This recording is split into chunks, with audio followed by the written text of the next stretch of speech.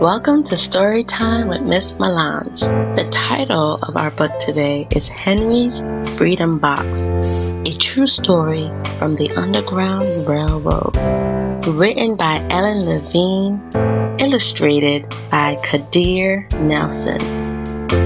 Henry Brown wasn't sure how old he was. Henry was a slave, and slaves weren't allowed to know their birthdays.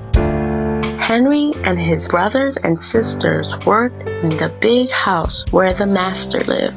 Henry's master had been good to Henry and his family, but Henry's mother knew things could change. Do you see those leaves blowing in the wind? They are torn from the trees like slave children are torn from their families. One morning, the master called for Henry and his mother. They climbed the wide staircase. The master lay in bed with only his head above the quilt. He was very ill. He beckoned them to come closer. Some slaves were freed by their owners. Henry's heart beat fast. Maybe the master would set him free. But the master said, You are a good worker, Henry. I am giving you to my son. You must obey him and never tell a lie. Henry nodded, but he didn't say thank you. That would have been a lie. Later that day, Henry watched a bird soar high above the trees. Free bird! Happy bird! Henry thought. Henry said goodbye to his family. He looked across the field. The leaves swirled in the wind. Henry worked in his new master's factory. He was good at his job. Do not tear that tobacco leaf, the boss yelled at the new boy. He poked the boy with a stick. If you made a mistake, the boss would beat you. Henry was lonely. One day he met Nancy, who was shopping for her mistress.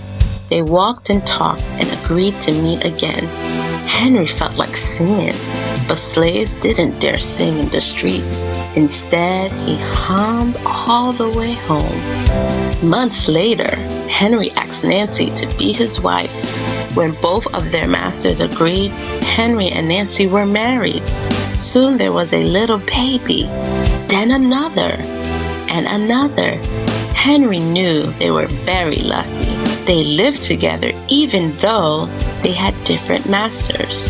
But Nancy was worried. Her master had lost a great deal of money. I'm afraid he will sell our children, she said. Henry sat very still. Henry worked hard all morning. He tried to forget what Nancy had said. His friend James came into the factory. He whispered to Henry, Your wife and children were just sold at the slave market. No, cried Henry. Henry couldn't move. He couldn't think. He couldn't work. Twist that tobacco. The boss poked Henry. Henry twisted tobacco leaves. His heart twisted in his chest. At lunchtime, Henry rushed to the center of town. A large group of slaves were tied together. The owner shouted at them. Henry looked for his family. Father! Father! Henry watched his children disappear down the road. Where was Nancy? He saw her the same moment she saw him. When he wiped away his tears, Nancy too was gone. Henry no longer sang. He couldn't hum. He went to work, and at night he ate supper and went to bed. Henry tried to think of happy times, but all he could see were the carts carrying away everyone he loved. Henry knew he would never see his family again. Many weeks passed. One morning, Henry heard singing. A little bird flew out of a tree into the open sky, and Henry thought about being free. But how? As he lifted a crate, he knew the answer. He asked James and Dr. Smith to help him. Dr. Smith was a white man who thought slavery was wrong.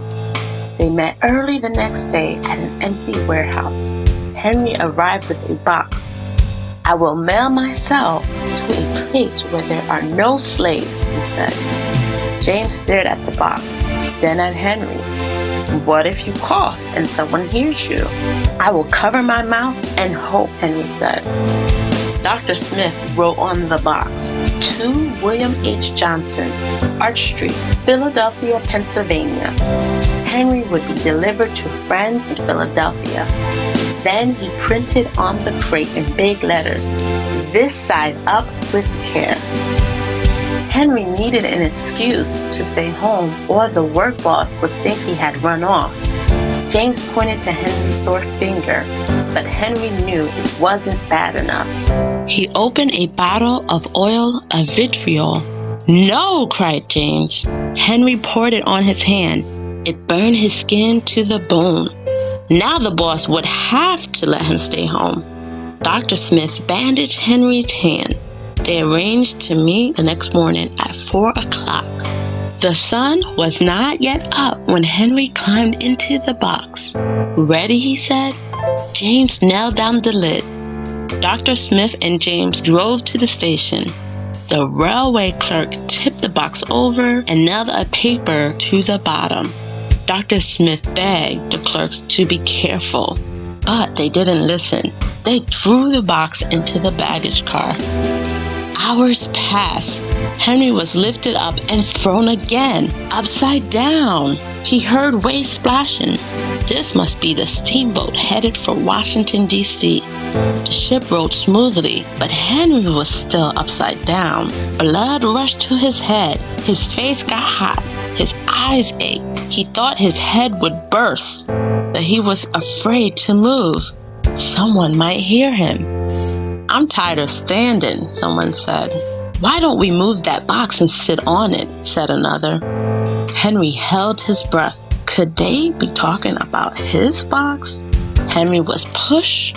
The box scraped the deck. Now he was on his right side, now on his left, and suddenly right side up.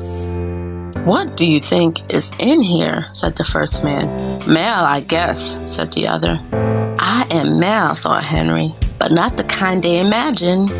Henry was carried off the steamboat and placed in a railroad car, this time head up. He fell asleep to the rattling song of the train wheels. He awoke to a loud knocking. Henry, are you all right in there?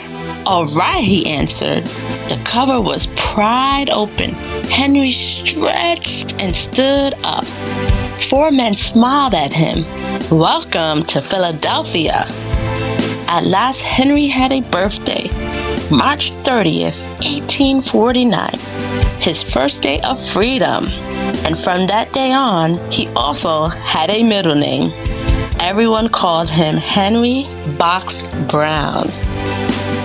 And that's the end of Henry's Freedom Box. My question is why do you think that the enslaved Americans were not allowed to know their age or keep records of their birth? Go ahead and add your answers to the comment section below.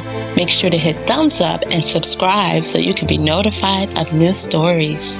Thanks for watching. Bye.